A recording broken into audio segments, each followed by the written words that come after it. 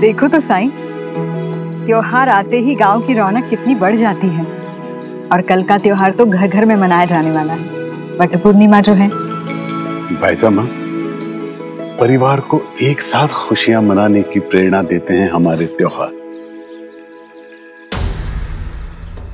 लेकिन कुछ लोग इन खुशियों से वंचित रह जाते हैं।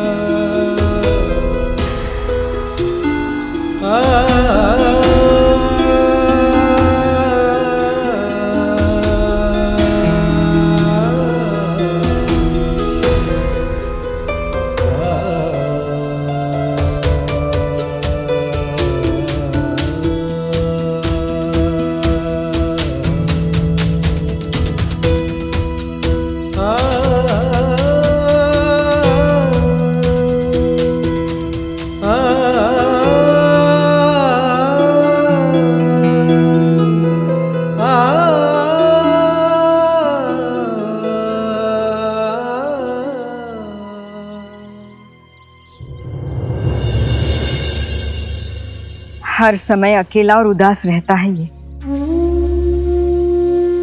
त्योहार में तो उसे और भी बुरा लगता होगा ना? खासकर ऐसा त्योहार, जिसमें पति पत्नी के अटूट रिश्ते के लिए पूजा की जाती है, परिवार को अक्षुण रखने के लिए कामना की जाती है।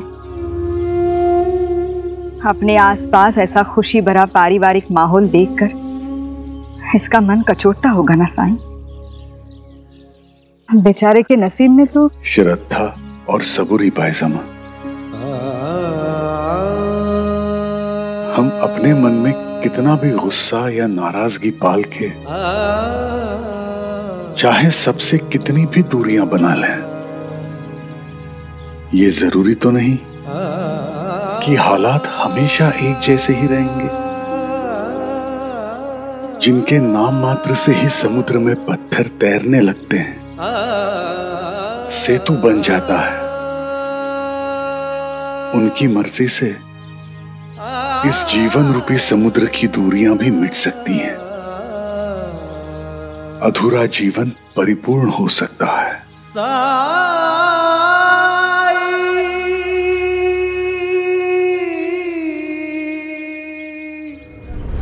बस कुलकर्णी सरकार।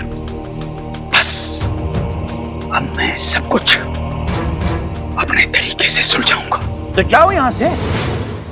मेरा समय क्यों नष्ट कर रहे हो? और मैं भी देखना चाहता हूँ। मेरी सहायता के बिना तुम क्या कर पाते हो? और एक बात कान खोलकर सुन लो। शीघ्र ही तुम्हारा ये अहंकार टूटेगा। और तुम्हें मेरी सहायता लेनी ही पड़ेगी। हरिओम। चलो गौतम।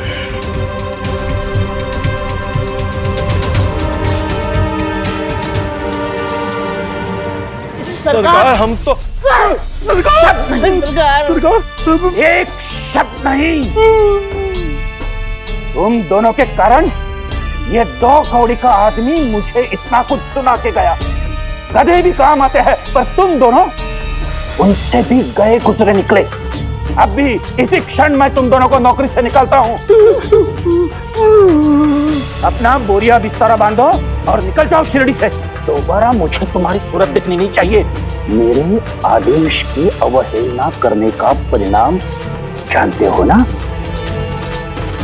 हाँ और शिरडी छोड़ने के लिए तुम्हारे पास आज रात तक का समय है।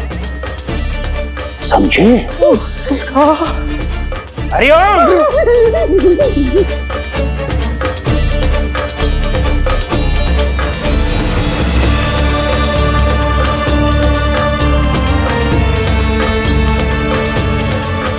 हरि ओम। हरि ओम।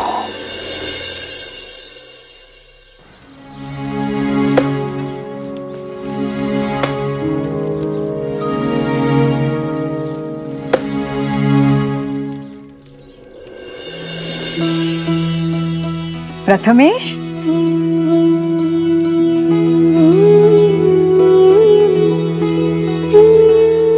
प्रणाम मौसी।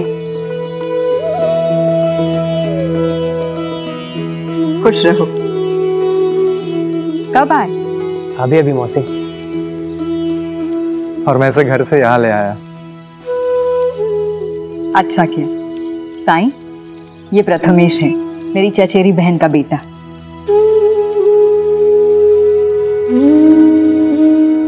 प्रणाम साईं। राम जी भला करें। आओ प्रथमेश अंदर चल के बातें करते हैं।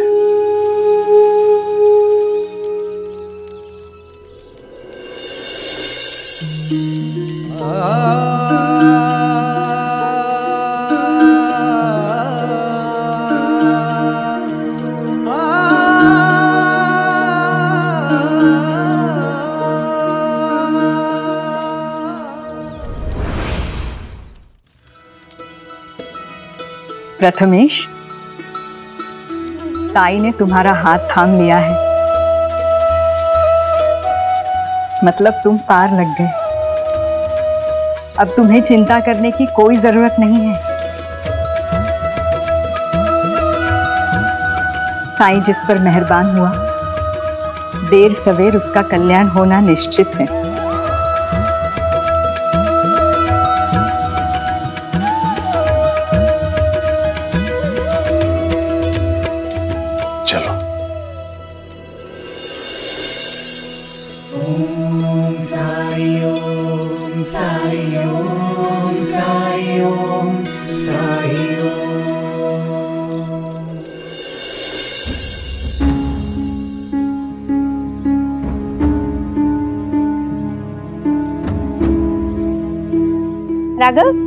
आ गया तू? चल हाथ मुँह धो ले खाना तैयार हो रहा है। हाँ।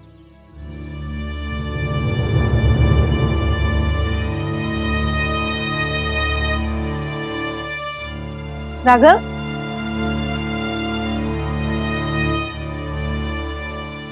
क्या हुआ तुझे? कुछ नहीं।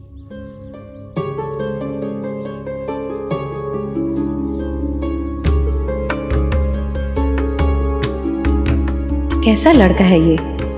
जब देखो मुँह लटकाए रहता है।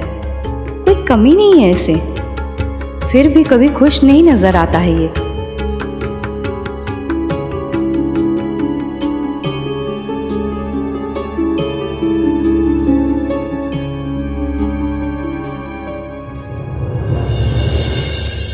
पता है साईं, प्रथमेश बहुत ही काबिल और होनहार लड़का है। हम सब की उम्मीदें जुड़ी हुई है इससे। बचपन से बहुत होशियार है। तब से हम लोगों ने इससे उम्मीदें लगा ली हैं कि एक ना एक दिन ये हमारे खानदान का नाम रोशन करेगा।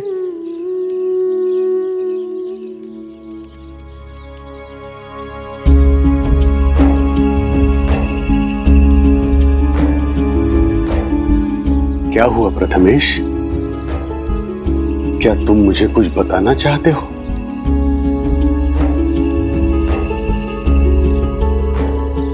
कोई बात नहीं। जब मन करे तब बता देना। बस एक बात याद रखना। अगर मन में वेदना है तो उसे वक्त रहते प्रकट कर देना चाहिए। वेदना अगर मन में दबी रही तो उसे जहर बनते देर नहीं लगती।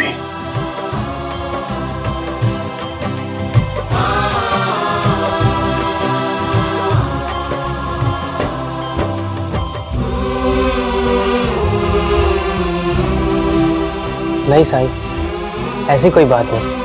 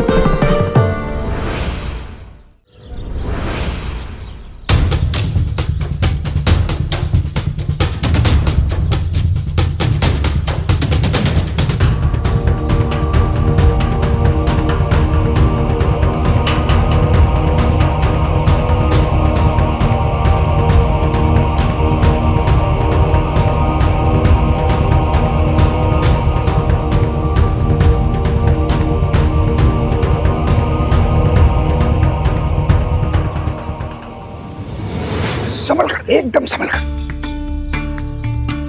हाँ। सुनो। इस गाँव में लगभग हर कोई उस फकीर का चमचा है। किसी को शक ना होने पाए कि हम उस फकीर का पीछा कर रहे हैं। ठीक, समझ गए? तुम लोग आगे चलो। हम लोग तुम्हारे बिल्कुल पीछे पीछे होंगे। और याद रखना, तुम लोगों को सिर्फ़ संकेत करना है। पता है ना कब? आगे बढ़ो।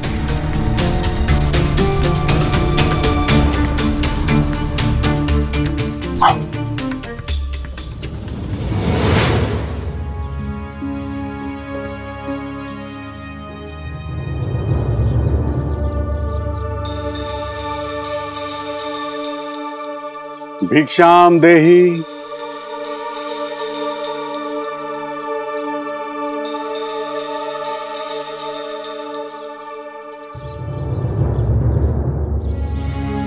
प्रणाम साई। राम जी भला करें। माई आज मुझे कुछ और चाहिए। क्या साई? वट पूजा का धागा चाहिए। मिलेगा?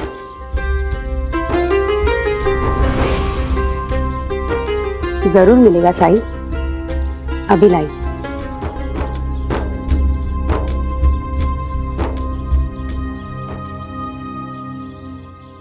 लीजिए साई।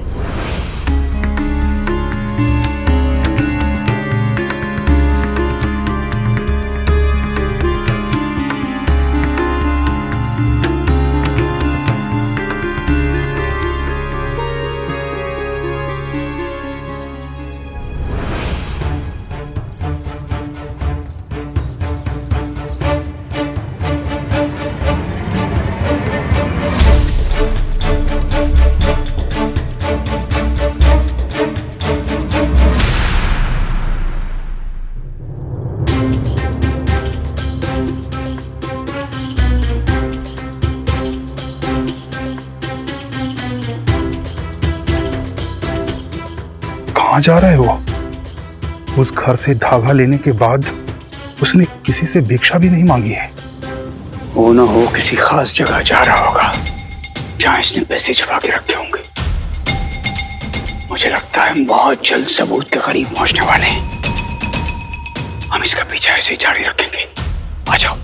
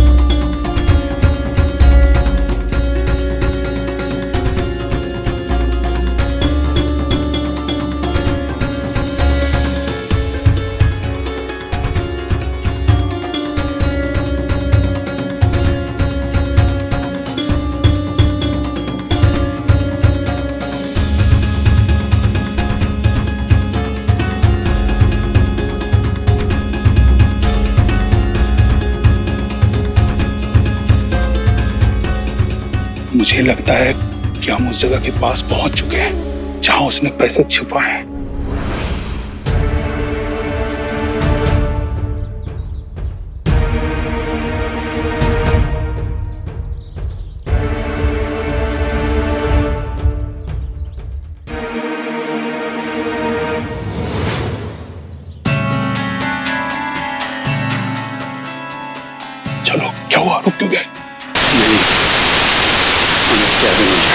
अभी हमने तय किया था कि हम उसका लगातार पीछा करेंगे। मुझे पता है हमने क्या तय किया था। एक बार मैंने कह दिया आगे नहीं जाना तो नहीं जाना है। उधर कुछ नहीं है। चलो वापस। लेकिन ये फकीर बहुत ही शातिर किस्म का इंसान है और कुछ नहीं। ये हमारा समय बर्बाद कर रहा है। और वैसे भी उस पर नज़र रखने के लिए हमारे आदमी उसका पीछा कर रहे हैं। कुछ होगा तो पता चल जाएगा हमें।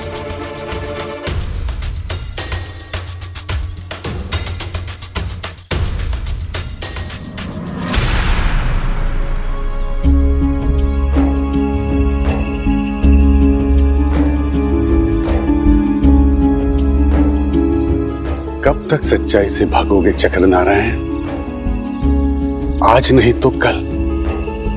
सच का सामना करना ही है।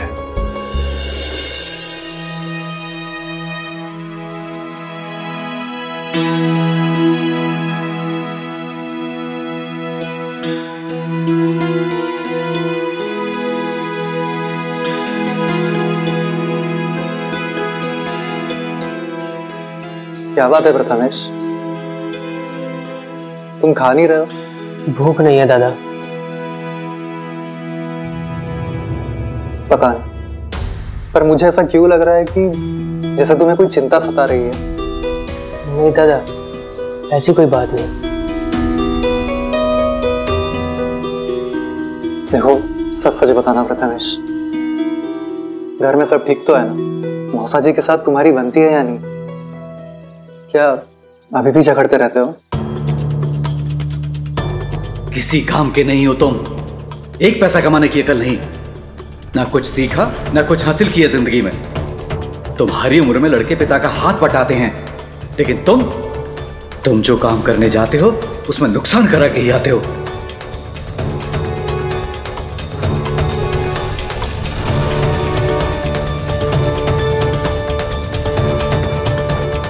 मेरा खाना हो गया, दादा। मैं बाहर टहल के आता हूँ।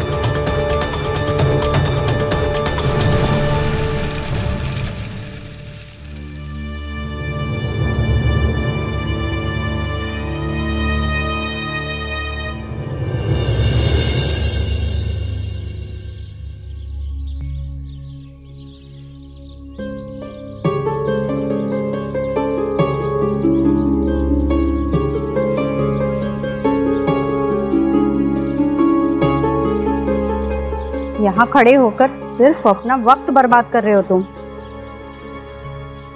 इस घर से तुम्हें कभी भिक्षा नहीं मिलेगी। मैं कुछ मांगने नहीं, तुम्हें देने आया हूँ।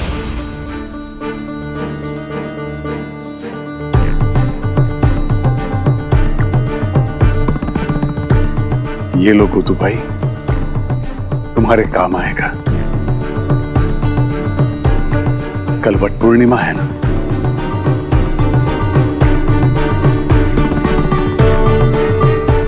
नहीं गोदू भाई। ऐसी गलती मत करना। ये महज धागा नहीं है। रिश्ता है। नहीं मानती मैं उस रिश्ते को और ना ही इस धागे को। नहीं सुननी है मुझे तुम्हारी बकवास। अच्छा बिल्कुल नहीं मानती। कोई फ़र्क नहीं पड़ेगा तुम्हें। तुम जाते हो या नहीं? मैं तो चला जाऊँगा। लेकिन क्या वो यादें इतनी आसानी से चली जाएँगी? नहीं ना। रिश्ते भी ऐसे ही होते हैं। इन्हें फेंका नहीं। निभाया जाता है।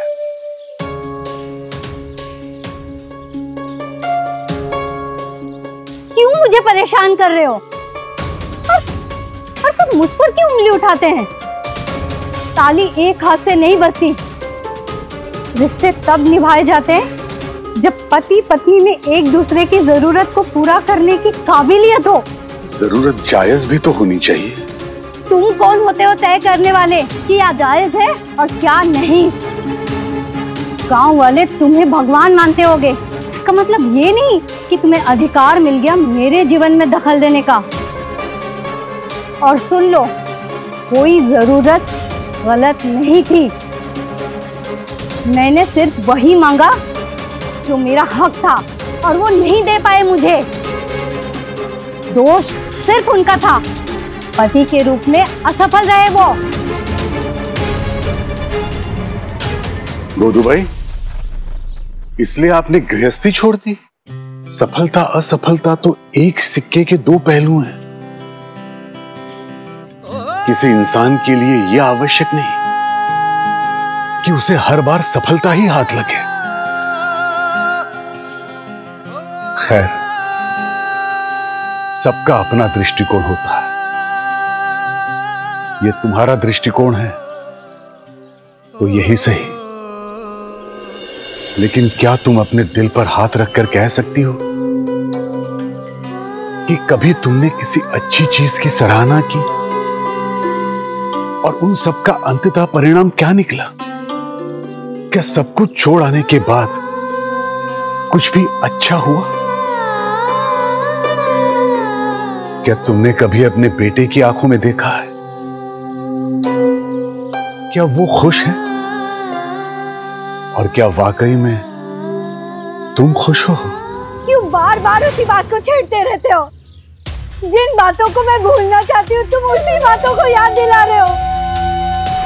क्यों मेरे जख्म को कुरेद रहे हो? तुम मुझे अकेला क्यों नहीं छोड़ देते? क्या हुआ बेटी?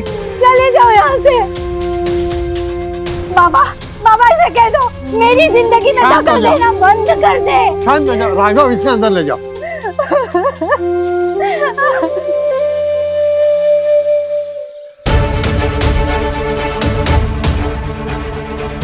मैं तुझे आखिरी चेतावनी दे रहा हूँ फकीर।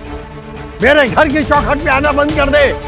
मेरी बेटी को परेशान करना बंद कर दे वरना मुझसे बुरा कोई नहीं होगा। एक चेतावनी तो राम जी भी आपको दे रहे हैं गंगाराम जी।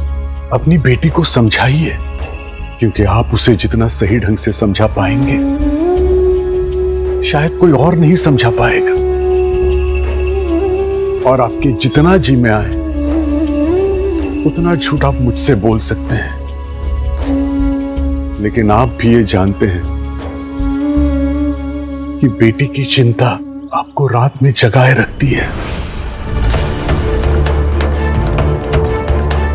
तेरी हिम्मत कैसे हुई मेरे पारिवारिक मामले में बोलने की? और क्या कहना है तेरा? कि मैं एक बुरा पिता हूँ? मुझे नहीं पता कि मेरी बेटी के लिए अच्छा क्या है। तुझसे ज़्यादा चिंता है मुझे उसकी। तुझसे ज़्यादा समझाया मैंने उसे। अब अगर वो नहीं जाना चाहती है तो तुझे क्या पड़ी है? मैं तो केवल एक शादीशुदा स्त्री को ऐसी गलती करने से रोकना चाहता हूँ जो उसकी ज़िंदगी बर्बाद कर देगी। मैं एक जवान लड़के को थोड़ी उम्मीद देना चाहता हूँ। एक पिता को चैन की नींद सोने में मदद करना चाहता हूँ। लेकिन ये सब मैं बिना आपकी मदद के नहीं कर सकता।